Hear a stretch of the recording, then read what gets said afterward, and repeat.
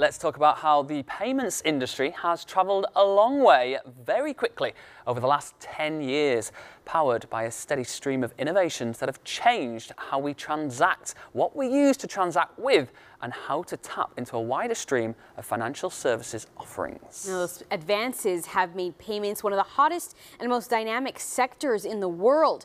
But Boston Consulting Group's Global Payments Report 2023 warns that the operating environment is likely to become much more challenging in the near future.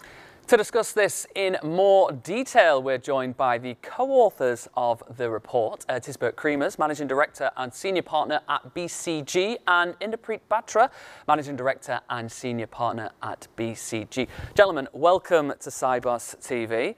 Uh, it's great to have you. I hope you're having a fruitful uh, couple of days here in Toronto so far. I'm going to start with this bit over here. Your report contains some startling news. Uh, for the first time in years, growth in global payments revenues is slowing, uh, slowly falling from 8.3% over the last five years to 6.2% over the next five. What's going on, if you can tell us? Is this the, the moment of truth uh, for your report that your report title refers to? Oh, well, it is um, not only because sort of we suddenly see a slowdown from sort of like a, a high uh, 8 to 10% growth to sort of like 5 to 7. So obviously that's a market change, but that's obviously driven also by all the volatility that happens globally um, and not not different than many other industries. What, what's striking in the in the payment space is that at the same time we see changes in the competitive landscape, as well as in the regulatory landscape, as well as in technology. And um, those three additional trends also make up that um, the banks and the fintechs that operate in this space have to reinvent themselves and their, uh, their models. Uh, and that means big uh, tech changes, big operating model changes that they actually have to, um, to get prepared for. Mm. Uh, we're going to let you chime in in just a moment, Inderpreet, but I do have a second question for you, Tijsbert, because payment companies, like everyone else, are facing continued macroeconomic uncertainty. But uh, while secular factors are, are, are, making the operative environment more challenging, your report seems to point to something uh, deeper, that the industry itself is being reshaped. So can you talk about some of the disruptors at play here? Yeah, so, so some of the things that we're seeing is sort of the increased importance of compliance and some of the fintechs sort of are facing that right now. They've had uh, uh, a long a long trajectory of growth, but now sort of they're coming into a space where they're actually sort of like banks uh, also facing sort of that they deal, need to deal with the compliance and need to actually catch up. So that's that's one of the determining factors.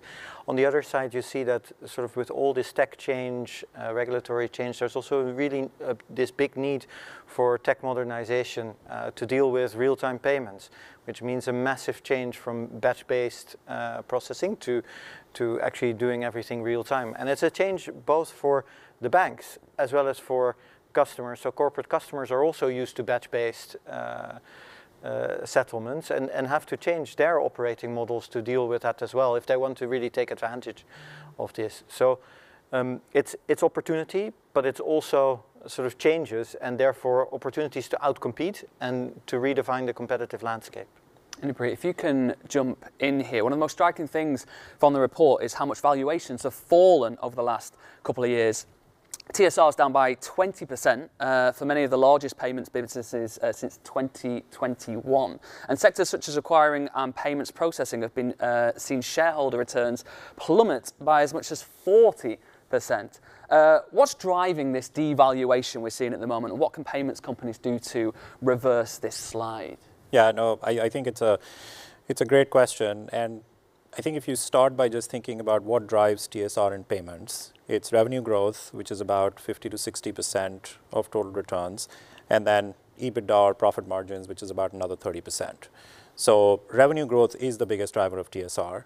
And what we've seen happen since 2020 is a bit of normalization in growth expectations. So we had a lot of companies that grew during COVID, off the back of e-commerce, off the back of you know the transition to digital payments, and the expectations were that that growth would continue, um, which obviously hasn't happened. It hasn't turned out like that. E-commerce as a percentage of retail sales, for example, has actually declined in the U.S. over the last 12 months. So a big part of that 20% is just normalization of growth expectations. When you then look at the acquirers and processors who have seen a much more significant decline, it's been there's two main reasons that drive that. One is the fact that yes, we will still see growth at even at six or seven percent, but how much of that growth is going to be captured by them versus software companies who are increasingly sitting between them and their customers? And the second, uh, the second question that investors are raising is, will you be able to maintain these margins given the investments you have to make in product and innovation? And those are the two main reasons why we've seen um, acquirers and processors as a segment lag the overall industry. Um, and this is the moment of truth, or this is why we are saying it's the moment of truth, because if you're an investor, you're essentially asking, you know, what is it that like this is the moment of this is a moment of strategy for these companies, right? If you are talking to your investors, your investors are looking for you to tell them, okay, what is your differentiator? What is your moat? In an industry that used to grow at 8%, you were growing at 8%, um, and now we have an expectation that you're going to continue to grow at 8%. But if the industry declines to 6% growth, you still have to grow at 8% because that's what your investors expect. And so questions around differentiation, questions around your ability to uh, stay competitive are becoming a lot more important, which is why, to the point that Gijsbert was making, it's very, very important for all payments companies to look at, okay, what really defines us, you know, and why are we different?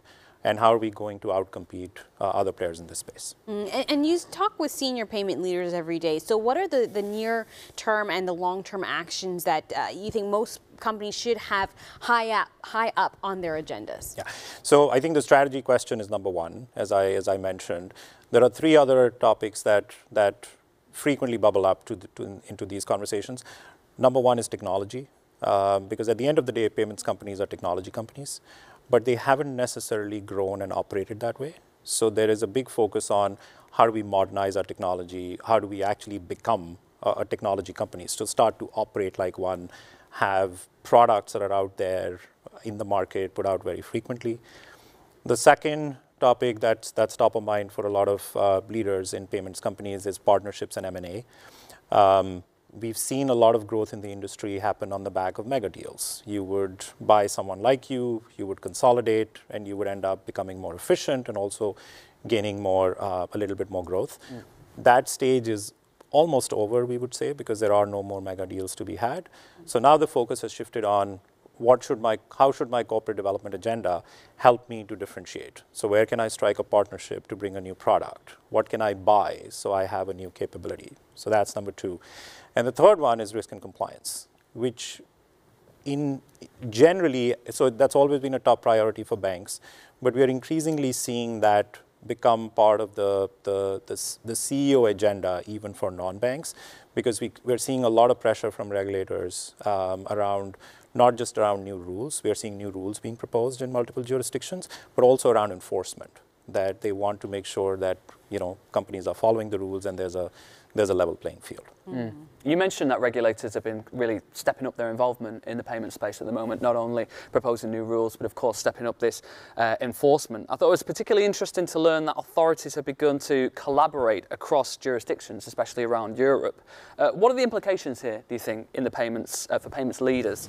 Uh, and the banks, uh, these, these developments something that uh, primarily affect banks, do you think? Uh, or do non-banks also need to be paying attention to what's going on? Yeah, so I think the, the, the main implication here is to be prepared, right? So, so you have a whole bunch of rules that are being proposed across jurisdictions. For example, in the US, we have proposed rules around interchange, we have proposed rules around late fees and credit cards. There has to be a very, very robust process by which you as a leader and you as a firm need to know how they can impact your business.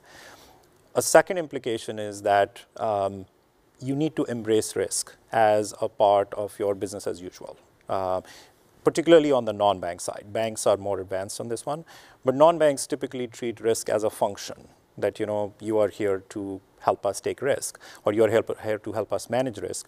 Whereas what really needs to happen is for the business itself to say, I'm in the business of taking risk, and how do I get better at it? And that's a big change in culture that's a big change in new capabilities that you that you need to be that you need to be building mm. and it's more it's a stronger imperative for non-banks given they are further behind banks Mm. Uh, uh, Tijsbert, I want to bring you back into the conversation. Let's talk about a hot topic, uh, generative AI. It's everywhere, uh, all over the business press. It's popping up uh, in quarterly earnings calls. It, it's creating an investor frenzy as well. So, uh, how will it play a role in payments, and where are we likely to see it driving impact, and how soon? Well, so we believe it will drive impact, and if you think about uh, what payments really is, it's it's a phenomenal amount of transactions and data that's that's being created. But there's also sort of in the corporate space things like invoices and letters of credit. So there's a lot of sort of paper-based, sometimes quite unstructured uh, pieces of data that you can actually uh, absorb and create sort of uh, predictions or new new uh, new advice or solutions with, and and that creates an opportunity for uh, for uh, uh, a competitive advantage as well, and so um, if if we think about it, there's probably uh, three, four buckets that you can can see applications in. One is in in advancing client service, um, taking all that unstructured data and then coming up with sort of uh, answers to queries of customers and, and advanced reconciliation uh, for customers. A second one is around software coding. I think everybody is busy with software coding and that's already sort of in practice today as a use case. Obviously within the uh, payments and transaction space, that's also something you can think about. And then a third one uh, is more around uh, sort of operational improvements. Um, uh, and and one, one area maybe non-financial risk or compliance actually, uh, Inderpreet just talked about it. I mean, there's also lots of data sort of hidden in documentation that you can, I mean, you can uh, analyze it, which GenAI is quite good at, and you can generate reports with it, which, which GenAI is quite good at. And then there's a bunch of transversal uh, probably use cases in finance uh, uh, and, and other disciplines. Um, but so I, I, think the, the opportunities are actually massive. Um, it will take time though before we get to uh, to scale on it because we also need to think about sort of how do we use it responsibly and and uh, have this risk uh, risk mentality also to Gen AI. So important to start mm. to explore the use cases and, and then over time scale it and, and at the same time manage this, uh, this responsible um, uh, AI perspective. Mm. Staying on the subject of, of tech for a moment, your report uh, mentions how we're in the, in the clutch of a, of a massive tech modernization effort which is underway, uh, affecting not only the types of payments methods used, but the entire infrastructure underpin, underpinning uh, the payments industry. Uh, can you, can you describe to us some of the, the changes, some of the shifts that you're, you're seeing at the moment? Yeah, no, absolutely. So what we see is actually the changes happening on two sides. So on the sort of, uh, we, we described in the beginning real-time payments and new standards, ISO 20022, that are coming into play, which sort of drive this change from batch-based processing and settlement into, uh, into real time. So the capabilities that we need to have for interfaces as well as for processing just change massively. On the other side, on the sort of client interface uh, layer, there's also uh, big changes because we're starting to participate more into ecosystem solutions, platform solutions.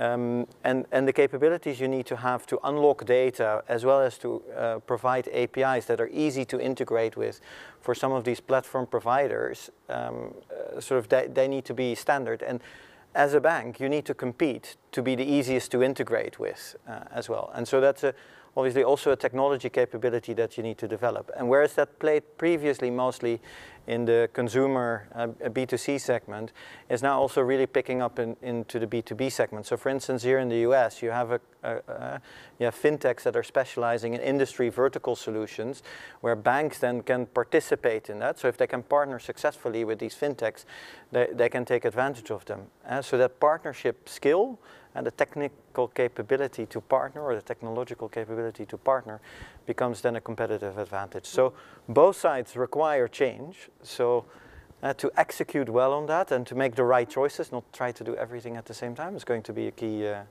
key differentiator. It fits well in with the, the collaborative uh, collaboration in a fragmented world, which is obviously the big theme uh, this year's Sibos, doesn't it? Absolutely. It an interesting report, an important one that I'm sure will spark lots of conversation about the future of the industry. Tijsbert, Tijsbert Creemers, Managing Director and Senior Partner at BCG, Inderpreet Batra, Managing Director and Senior Partner at BCG. Thanks to you both for stopping by here at Sibos TV. Thank you very much. Thanks, Chance.